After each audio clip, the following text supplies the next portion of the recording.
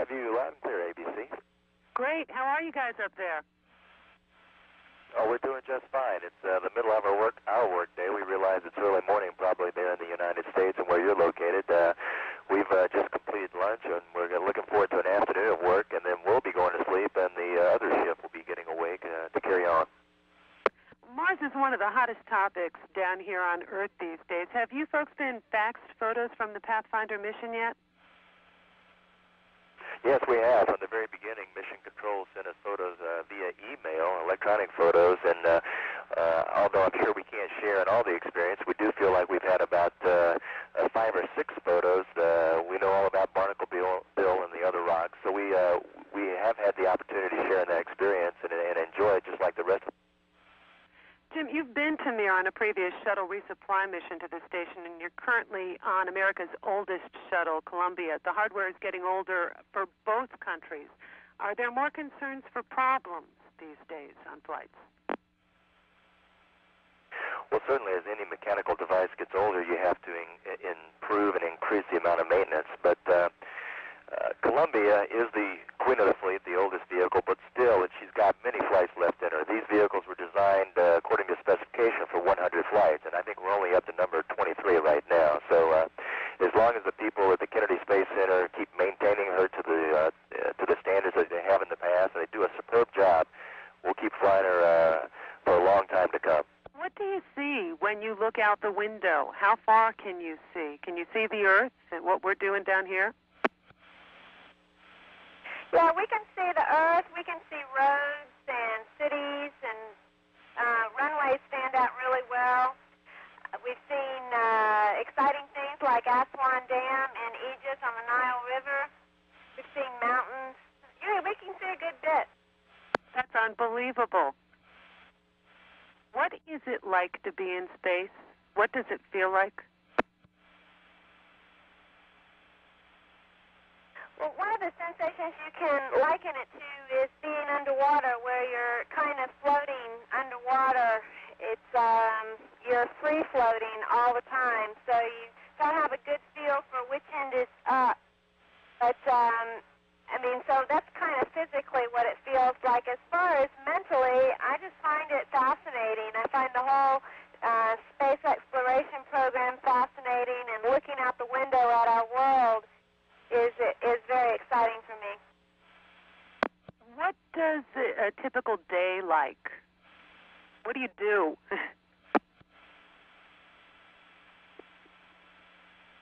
Yeah, it's uh, uh, like a typical day on Earth, pretty much. We get up in the morning and uh, wash up, shave, brush our teeth, uh, have a quick breakfast, and uh, we have a, about a half an hour uh, time to do our daily planning. Where We'll re- review messages, uh, mail, and uh, kind of get ready, prepared for the day of work. We work in the lab uh, module here about five hours or so in the morning, uh, have an hour off for lunch where we look out the window, and then it's back for about another five-hour session in the lab. Uh, at the conclusion of the day, we have about two hours before we go to bed. Again, you're using that kind of getting ready for bed, brushing your teeth, and uh, changing your clothes, and looking out the window, just relaxing a little bit. what is the, your favorite part about being in space uh, to any of you? And then the opposite, what is your least favorite part?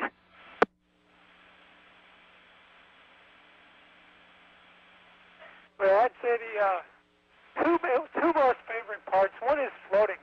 Floating is really fascinating because your whole method of movement is different. You just push yourself gently. You try to stop yourself from rotating. You have to watch that you don't bump into things. You maneuver around people and objects differently.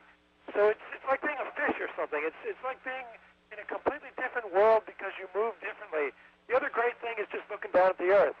I mean, the views are spectacular. The way things look, seeing the whole part of a continent at a time is just breathtaking. And it's just one great view after another when we have a chance to look out the window. Speaking of looking I'll take a stab at the least favorite. The uh, just as the lack of gravity and floating is, is a fascinating thing, it, it's also sometimes, to be honest, a little bit of a pain. Gravity can be good for a lot of just normal uh, functions. Eating food, for example, you can't set something down on the table and present a meal to yourself all at once. You have to eat like one entree at a time, eat it in its entirety, and then move on to something else. I think uh, the problems with going to the bathroom might be uh, immediately obvious to anybody who gives it a thought. So uh, the lack of gravity is fascinating, and also it, uh, gravity is good for a lot of things also. Any special messages for anyone back uh, at home here on Earth?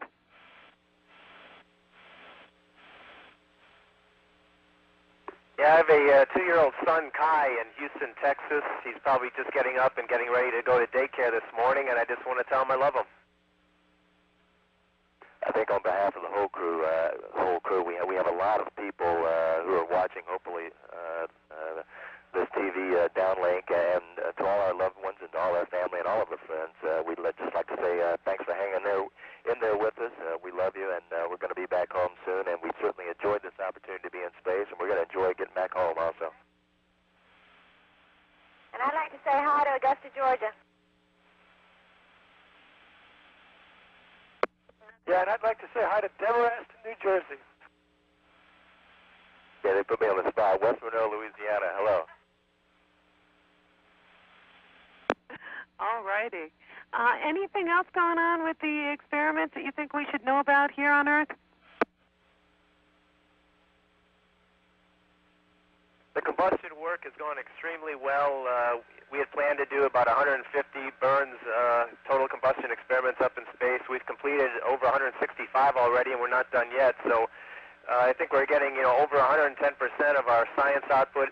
In the material science world, world we're processing a lot of semiconductor materials and, and other uh, new metallic materials, metallic glasses that have, have other uh, technological applications. So we have a lot of breakthroughs we're working on here. It might be a few years before uh, they find their way into uh, everyday life down on Earth, but this is uh, basic research, and we're pioneering out here, and uh, a lot of great science uh, will be performed on this mission. Any message for budding young astronauts, especially women trying to get into the field? My biggest message is dare to dream. Follow your dreams, follow your heart, and strive to do your best. And you never know what you might be able to exceed if you ju- succeed with if you just try. Hey, we've got a little bit of tape here. We'll roll it for you and let uh, let Greg and Susan talk about it. What I'm trying to demonstrate here is that uh, there's no up and down gets very confusing. Here I'm sitting here. Obviously, up is up and up is down, but uh, we can switch that around very quickly and see that actually I was sitting upside down. I was sitting on the ceiling of the space lab, and it's only when uh, Jim turns the camera around and we see things in their more normal configuration, for those of us who are familiar with it, that we can see that I was upside down. Uh, Susan here is uh, looking out the uh, aft windows, and now we're moving on down to the uh, hatch, down to the middeck, which is on the opposite side. So we see that she was actually lying on, leaning against the back of the uh, flight deck there. And now we're heading on down to the middeck. Looks relatively normal here. My uh, one crew member sitting on the floor. Of course, now when we see Roger upside down, it becomes which ceiling, which is the ceiling and which is the floor. All depends upon what particular way you're facing at that moment.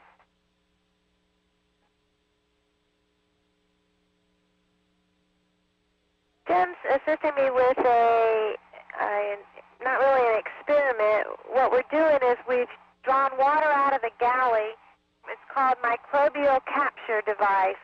We are shooting the galley water through a little filter, and we're going to let that filter sit around for a few days. We've added a little agent to it, and every 48 hours I'm going to take a look at the filter to see if things are growing in our galley water. This would be used if, for instance, uh, one of us were to get sick or something, they would be able to know whether the water had been good to drink. It's difficult in zero gravity to get all the water out of the filter, so I'm having to use my imagination and try and get the water to go where it's supposed to go. In uh, 1G, it just sucks right out normally because of the gravity. We got one internet question today from it's from uh, John Michaels, who's from Bay Village, Ohio. It's one of our suburbs just west of Cleveland, where my hometown is. And he asked, does zero gravity have any direct effect on the principles of magnetism? And wants to know if uh, steel is more drawn to a magnet in space than on Earth. And uh, John, I got uh, two spherical magnets here on board, and I want to show you. It really has no effect. I'll uh, separate them and let you see how they float together.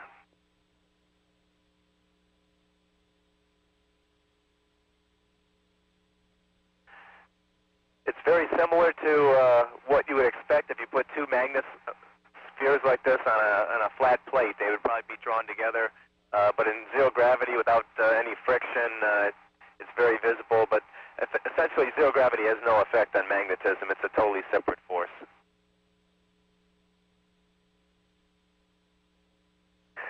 Okay, that's it for this uh, for our afternoon. Once again, thanks to Mission Control for uh, being there for us and to Huntsville, to the Payload Operations Control Center. It's a great flight so far. We're looking forward for a few more days of science before we come back home. See you later.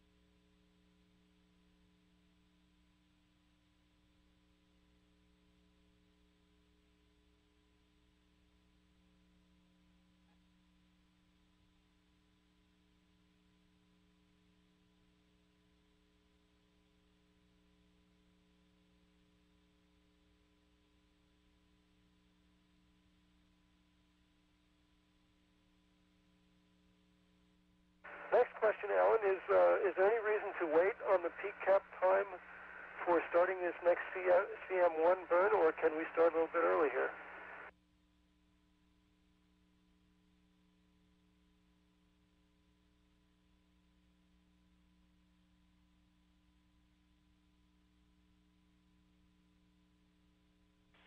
Space Lab Huntsville for Greg. Looks like we would like to wait until 1400 hours. That would get started about 10 minutes early, but not yet. Okay, copy that. I'll come back about that. Copy that, and I'll look into the answers on your other questions and get back to you later.